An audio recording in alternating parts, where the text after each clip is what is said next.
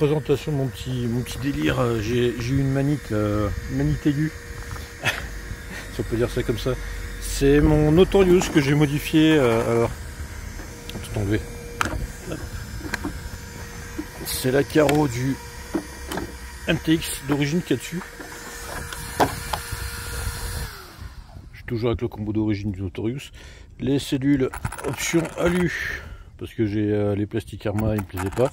Et qu'est-ce que j'ai fait sur mon Notorious? Euh, pour pouvoir monter les pneus, euh, c'est les ICC Racing MT8 à chevron que j'ai racheté à, à Max de RC. J'ai dû prendre les bras complets avec les, les cardans du Moyave 6S. Pareil à l'arrière, avec une petite modif juste garder les portes fusées avant-arrière du, euh, pour garder les fusées et avoir le bon angle. Ça touche pas, ça passe plus le poil. Au niveau de la direction, c'est pareil. Euh, qu'est-ce que j'ai fait d'autre? Oui, les cellules entendu.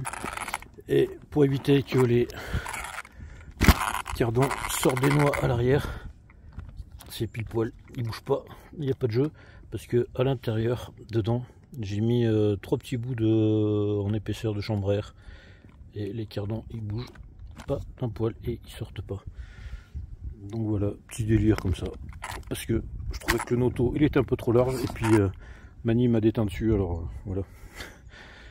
J'ai eu l'occasion de le faire, je l'ai fait. les pièces détachées en commande en Allemagne pour le tout ce qui est bras de suspension avant, arrière, des cardans. Euh, il y en a pour une centaine d'euros avec les frais de port. Cher c'est Fox. Et puis euh, pare-choc avant et euh, ski derrière RPM que j'avais déjà monté avant. Donc voilà. A plus.